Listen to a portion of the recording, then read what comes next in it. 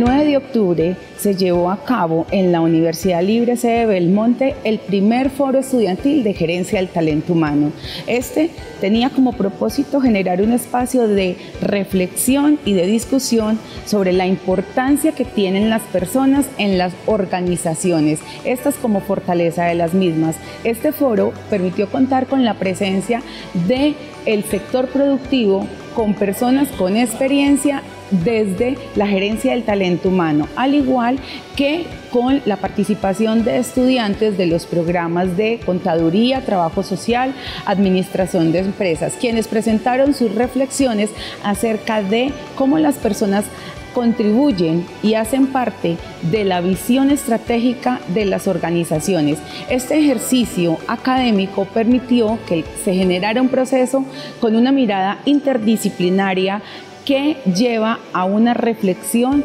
desde las distintas áreas del conocimiento.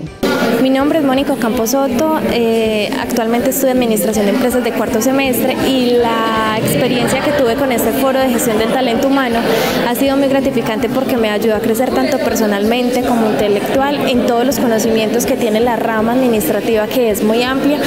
y su principal objetivo es la integridad de los trabajadores como objetivo de la empresa. Mi nombre es Julián Andrea Toro Jiménez, estudiante de Administración de Empresas de cuarto semestre. Agradezco mucho al foro de gestión humana porque nos brindó una perspectiva diferente y pude dar mi perspectiva referente a la administración de empresas y nos dimos cuenta de que la gestión humana se aplica en todas las profesiones. Buenas noches, mi nombre es Erika Alexandra Gómez y tuve la fortuna de participar en el primer foro de gerencia del talento humano de la Universidad Libre que tenía como lema personas como principal fortaleza de las organizaciones. Considero que es muy importante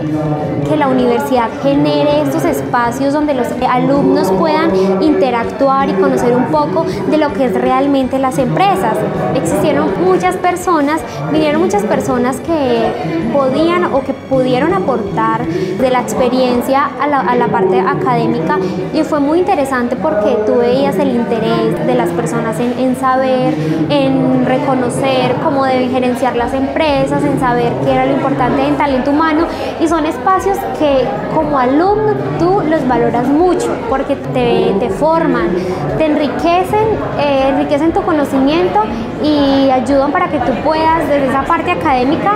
verlo desde la parte de la experiencia y, que pueda ser pues cuando ya en las empresas pueda ser un aporte importante desde lo que ellos puedan hacer desde la parte académica y la parte profesional.